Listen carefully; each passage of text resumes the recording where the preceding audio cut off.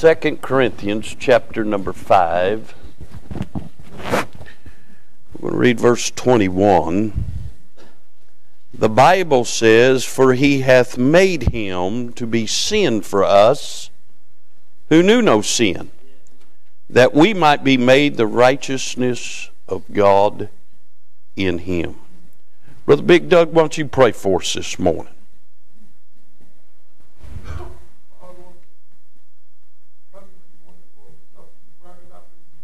Mm. Mm.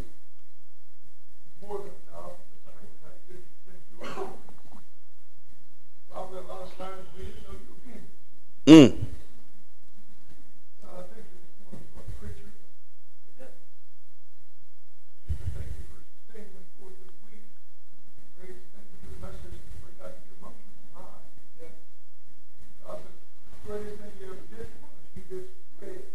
Mm.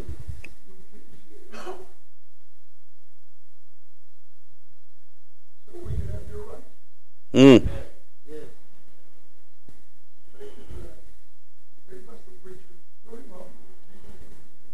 Amen. Thank you, Brother Doug. Verse 21, I want to draw your attention to some things as a way of introduction. I want you to notice, first of all, the punishment Christ endured. Can I say it wasn't the torture of the cross? Oh, that was great punishment. It wasn't the platting of the crown of thorns, the stripes upon his back, or the pulling out his beard that hurt him the most.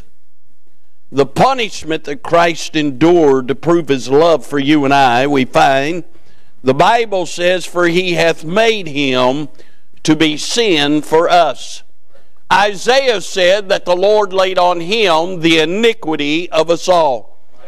The royal, righteous, regal, darling Son of God, the Lord of lords and King of kings, he who was holy, so holy, the seraphim cry above his throne, Holy, holy, holy. He became your sin and my sin took upon himself our filthy, vile sins uh, when he hung on Calvary. Uh, he who knew no sin uh, became sin that you and I might not only become saved, uh, but become the righteousness of God in him. Amen. We see the punishment Christ endured. We see the perfection that Christ exhibited. It said, Who knew no sin? He knew nothing about sin. He knew nothing about uh, the pull of sin or the tainting of sin. Uh, can I say he was holy? Uh, uh, sin coming before his presence would eradicate. Uh, uh, friend, he was more pure than we can even imagine. Uh, he knew no sin. He was perfection. Mm, he alone could fulfill the demands of God to become our Savior. We see the punishment that Christ endured, the perfection that Christ exhibited, but we also find the promise that Christ ensures mm, that we might be made the righteousness of God in Him. Friend, you can do all the works that you can come up with, and you'll never be righteous. You can give all the money that this world could ever print and you could not be righteous. Uh, you can pray uh, all the prayers that you could muster up within yourself, and you could never be righteous. What makes us righteous, we have to be in Him. My dear friends, that night that I got born again, uh, when I called upon the Lord in repentance and faith, uh, he not only saved me, uh, Brother Bob, uh, He not only sealed me with the Holy Spirit of promise, uh, but Brother James, He robed me in His righteousness. Uh, I have been made righteous uh, in Christ. Uh, when God looks at me, He doesn't see my flesh, He doesn't see my faults, He doesn't see my failures, He doesn't see my past. He sees Christ uh, and the righteousness of Christ. Uh, we ought to shout. Uh, we ought to run. we ought to be excited over the fact that I deserve to go to hell, uh, but I'm not going to hell uh, because Christ was made sin for me. Uh, that Christ, who knew no sin, uh, took my sin, uh, and because of that, uh, I could call on Him, and got to put on His righteousness. What a blessing today to be saved by the good grace of God. Um, but I'm interested this morning in verse number 18. The Bible says, And all things are of God who hath reconciled us to himself by Christ Jesus, or by Jesus Christ, and hath given to us the ministry of reconciliation. I'm interested in that phrase this morning, and with God's help, for just a few minutes, I want to preach on the ministry of reconciliation. The ministry of reconciliation. Now, the definition of reconciliation is simply to change thoroughly. When God saved me, He didn't just change some of me, He changed me thoroughly. Now, can I say that part of me is still trying to catch up with the change? Because when God looks at me, He sees Christ. And can I say, in Christ, I'm perfect. But can I say, presently, I'm not perfect. But my presence is trying to catch up with my position in Christ. Uh, and I'm trying my best to be all that I can be in Him. But when Christ looks at me, he sees a thorough change. And could I say that when you were reconciled to God, he changed you thoroughly? Mm. Can I say that the term reconciliation embodies this? It embodies regeneration. Look at verse number 17. The Bible says, Therefore, if any man be in Christ, he is a new creature. Now, false Bibles say new creation. I'm the same guy I was before I got saved. Right. Same flesh, same hair color, same eyeball color, same name, same person. I didn't become a new creation. I became a new creature. Mm. Uh, I'm the same guy, but something changed. What changed? Well, read on. Therefore, if any man be in Christ, he's a new creature. Old things are passed away. Behold, all things became new. When Christ saved me, He changed me. Things I used to love, I didn't love anymore.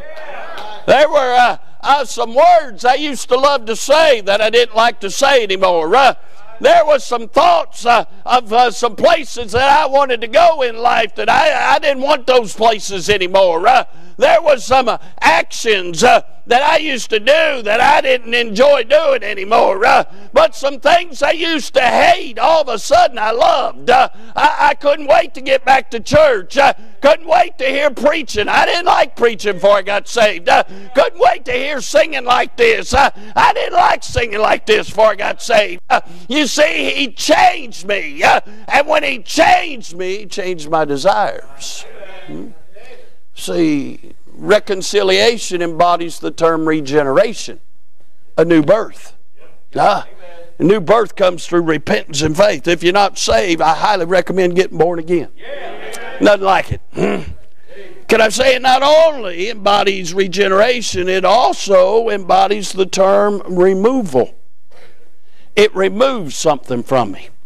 So, what did it remove? It removed enmity. You see, before I got saved, I was dead in trespasses and sins. I was alive, but I was dead. I was dead to God. And it was more than that, uh, Brother Ron. I was at enmity uh, uh, against God. I was the enemy of God. My flesh was at enmity with God. God hated everything that I had become as a sinner. And God hated my sin and hated sin in my life. Uh, and that sin caused me to be the enemy of God. Uh, there was hostility between me and God. Not a good place to be. Uh, the Bible says God is angry with the wicked every day. But when I got saved, that hostility, that enmity was removed. Even though God loved me before He saved me, I fell in love with God after I got saved uh, and realized and experienced the love of God. Uh, in so much uh, that I've just continually fallen in love with Him. You can't sing enough good songs about Him. You can't preach enough about Him. You can't talk enough about Him. All it does is continually endear me to Him. Why? Because enmity's been removed. Not only does reconciliation embody re- regeneration and removal, but it also embodies this term restores. Means to obtain the favor of. You see, Adam and Eve walked with God in the garden in the cool of the day. But when Adam and Eve chose to sin, that was taken away. But can I say that when you and I got born again, it restored fellowship with God? Now, we don't physically walk with Him, but I do walk with Him. I don't physically hear his voice, but I do hear him. Huh? Say, how can you hear him if you don't hear him? Oh, if you met him, you'd hear him. As he speaks to your heart. Huh? How can you walk with him if you don't see him? Because he lives in me. And I walk with him. Huh? So I'm interested in this ministry of reconciliation because, again, Paul writes to the church at Corinth, and all things are of God who hath reconciled us to himself by Jesus Christ. See, we couldn't get to God until Jesus Christ came and made a way. Uh, thanks be unto God for the way of the cross. But then he goes on to say, uh, and hath given to us the ministry of reconciliation.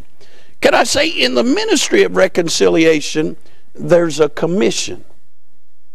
Verse 18 says, He has given to us this ministry.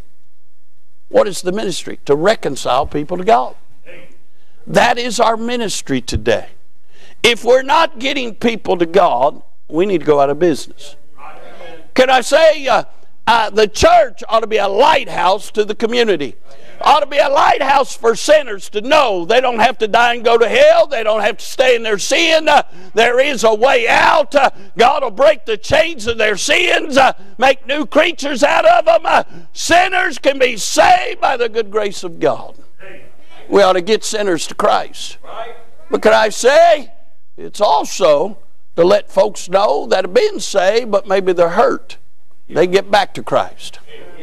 Maybe they're confused. Christ will solve their confusion. Get them to Christ. Maybe uh, uh, uh, uh, they've been done wrong. Get them to Christ. He'll do them right. Uh, it's all about getting folks to Christ, reconciling folks to God. Hmm? Now, I'd like to tell you that everywhere you go that's called a church, they're going to treat you right. You're going to hear about Jesus. You're going to get some help. But can I say, some of the worst places I've ever been is in church. A lot of you know, long before I was ever called to preach or really called to anything but a hothead. I was a ball player. And I'll never forget some folks joined my granddaddy's church and they wanted to have a softball team. And my grandfather was dead set against it. But my grandpa was getting up in years and I guess they just wore him down.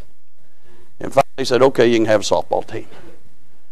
Well, the guy that started all that, you know, he, he had the softball team and everything. Well, uh, uh, I don't know, I was, I was, in between games or something. He's practicing. I showed up and he saw me play. He said, Why ain't you playing for us? I said, Well, first of all, you didn't ask me. But second of all, softball was for sissies, man. yeah, if I couldn't throw one about 93 high and tight up underneath some guy's chin, it wasn't, it wasn't ball. You know what I'm saying? But anyway, I decided, I said, Okay, I'll come out, help you out. I'll play. So I went and helped them out.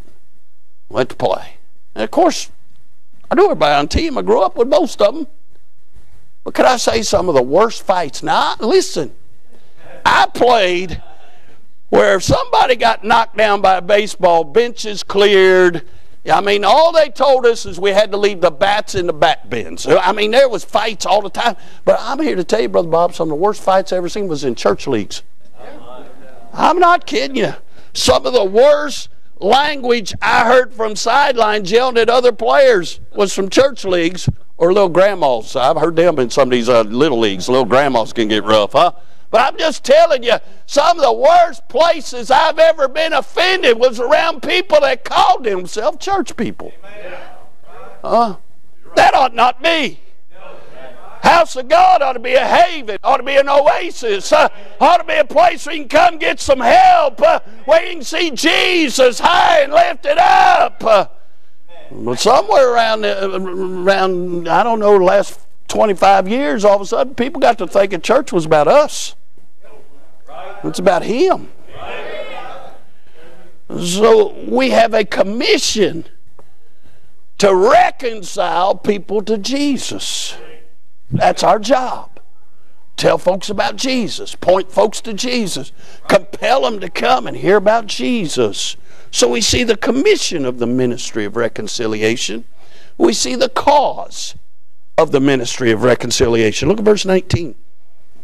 To wit, that God was in Christ, reconciling the world unto himself, not imputing their trespasses unto them. What is the cause of this ministry?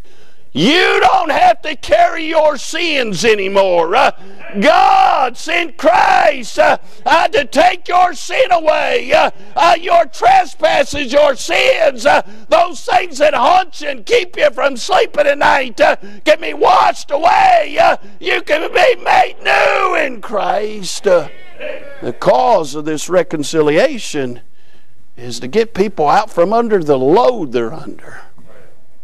I don't know about you, but there's folks carrying heavy burden today. There's saved people carrying heavy burdens today. And we need to get them reconciled to God because He'll carry them and their burden. We not only see the commission and the cause, but notice the charge in verse 19. He says, And hath committed unto us the word of reconciliation. Can I say, God could write it in the sky, but He didn't choose that. He chose us to have the word of reconciliation. God chose through the foolishness of preaching to save them that would believe. So then faith cometh by hearing, hearing by the word of God. What will reconcile people to God? The word of God will. Uh, and when we put our faith in what God says, it will make a change in our lives. We've been begotten again by an incorruptible seed, the word of God. Uh, so the charge is for you and I to share the gospel with them, to share the good news, uh, to share the promises of God, uh, uh, uh to bear ye one another's burdens and so fulfill the law of Christ, uh, uh, to perform the word of God before people, to esteem others better than ourselves. Uh, uh, oh, so much to forgive others because God, for Christ's sake, had forgiven us. Uh, it's all about the ministry of reconciliation. There's the commission, the cause, the charge. Notice the caretaker of the ministry. Look at verse number 20. Now then, we are ambassadors for Christ as though God did beseech you by us, we pray you in Christ's stead, be reconciled to God. The caretaker of this ministry is us.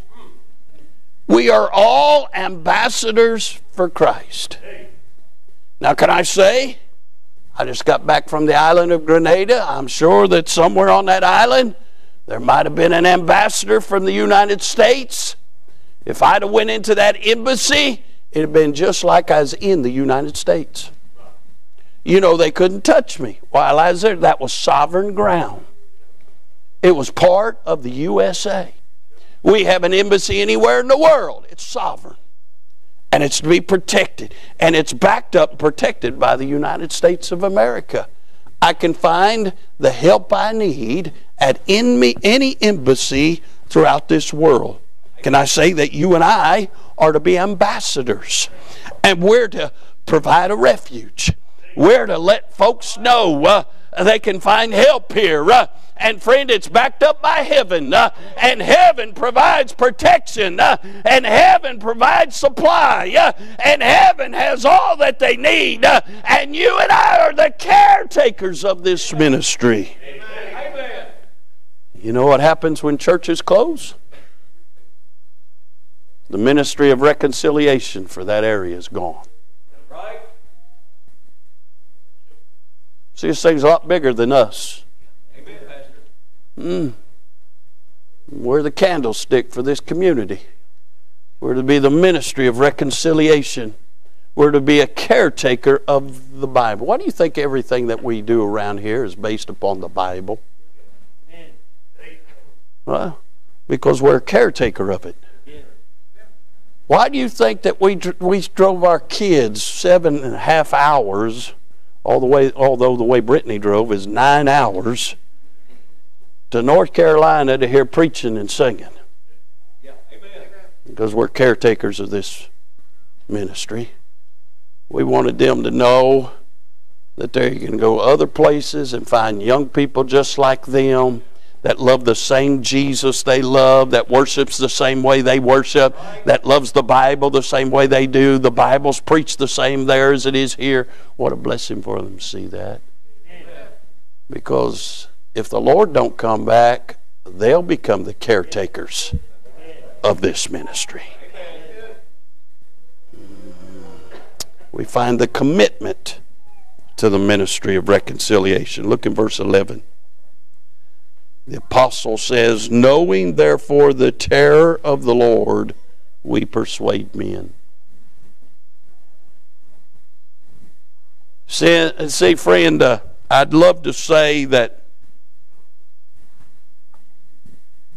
God loves everybody and everybody's going to heaven. Joel Osteen's made a lot of money doing that. Now, I will tell you this God does love everybody with an everlasting love. He loved everybody so much, He sent His Son to die for their specific sin. And if you'd been the only one that ever would have trusted Him, He'd have still died for everybody. But I'm here to tell you, God doesn't let everybody into heaven. Matter of fact, whether or not you go to heaven isn't dependent on God, it's dependent on what you do with what God said. God made a way for you to go to heaven, but the choice is yours. Jesus said, I am the way, the truth, and the life. No man cometh unto the Father but by me. You've got to put your faith and trust in the finished works of what Jesus did for you. But can I say this today? Jesus also said at the day of judgment, many would come to him and say, Didn't we prophesy in your name? Didn't we do many wonderful works in your name? Didn't we cast out demons in your name? He said, Depart from me, ye that ne- I ne- depart from me, ye that I never knew thee. He said, uh, uh, and he cast them off in the lake of fire. Can I say the lake of fire was created for the devil and his angels? But every man that rejects Christ and dies in his sin goes to the same place to pay for his own sins. Knowing the terror of the Lord, that God's serious about this stuff. Either you believe on the Lord Jesus Christ and get saved, or you'll die and go to hell. Amen. Jesus said, Repent or perish. And those who reject Jesus Christ are going to die and go to hell. Knowing that terror, we persuade men. We pray for them. We tell them. We bathe their soul in prayer. We plead with them. Don't die and go to hell. Do everything in our power to put Christ before them. That's our commitment. I'll never forget, I hadn't been pastor here a month. I announced we was going to go out, start knocking on doors and leaving gospel tracts. I had a fellow tell me, so, well, we did that one time. We passed out about 500 tracts and nobody came. I said, so? We're going to tell them again. Right. And again. Yeah. And again. Yeah. And again. And some 24 years later, we're still telling them. Say, so what if they never get saved? Well, they'll never be able to say, well, nobody came by our door and told us there was a way out. we got to be committed to it because God is. Then I thought about this. I thought about the carelessness of the ministry of reconciliation. Paul wrote back in chapter 4, verse 3 But if our gospel be hid, it is hid to them that is lost. Friend, I believe Jesus is coming soon. We need to be busier than ever before about letting folks know that Jesus loves them, that Jesus died for them, was buried, and rose again according to the Scriptures, that Jesus made a way for them to be saved for their sin, and they can be saved today. That is our ministry. It's a ministry of reconciliation. God help us to let people know Jesus saves, Jesus saves, Jesus saves. If you're here today and you're not saved, I've got good news. Jesus saves. You can be saved today. Say, preacher, I don't know how to be saved. Moment going to have an invitation. If you come, we'll take the Bible and show you how to be saved. You can be saved today. You can be saved the way God said to be saved. Uh, you can be saved. You're here today and you're saved. What are you doing with your salvation? Say, preacher, why didn't you have one other preacher preach today? Oh, we've got a lot of great preachers here, and every one of them could have preached. But you know what? This is another opportunity for me to preach. Hmm? Uh, can I say?